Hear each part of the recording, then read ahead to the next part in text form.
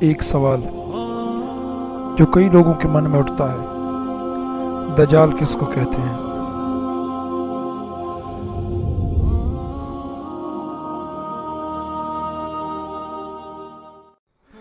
دجال مسیح کذاب کا نام ہے۔ اس کی ایک آنکھ ہوگی اور وہ کانا ہوگا، اور اس کی پیشانی پر کاف الف فارا یعنی کافر لکھا ہوگا۔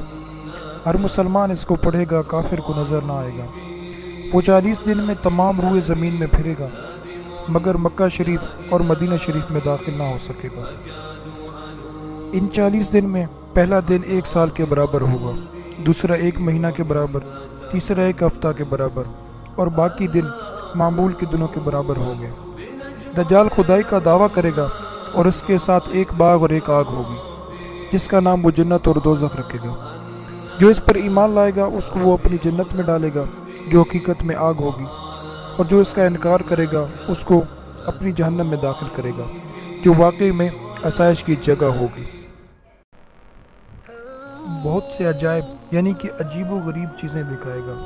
زمین سے سبزہ اگائے گا، آسمان سے می برسائے گا، مردے زندہ کرے گا۔ ایک مومن صالح اس کی طرف متوجہ ہوں گے اور ان سے دجال کے سپاہی کہیں گے، کیا تم ہمارے رب پر ایمان نہیں لاتے؟ وہ کہیں گے، میرے رب کے دلال چھپے ہوئے نہیں ہیں. پھر وہ ان کو پکڑ کر دجال کے پاس لے جائیں گے۔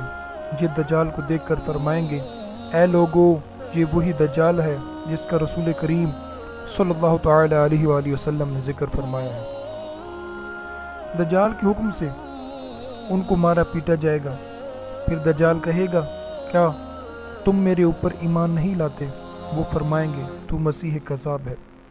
دجال کے حکم سے ان کے جسم مبارک سر سے پاؤں تک چیر کر دو حصہ کر دیا جائے گا۔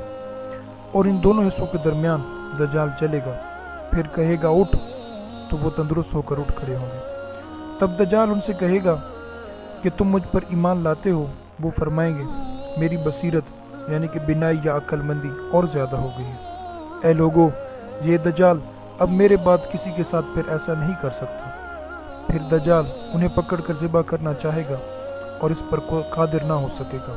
پھر ان کے دست و پا یعنی کہ ہاتھ پاؤں سے پکڑ کر اپنی جہنم میں ڈالے گا۔ لوگ گمان کریں گے کہ ان کو آگ میں ڈالا مگر در حقیقت وہ آسائش کی جگہ ہوں گے۔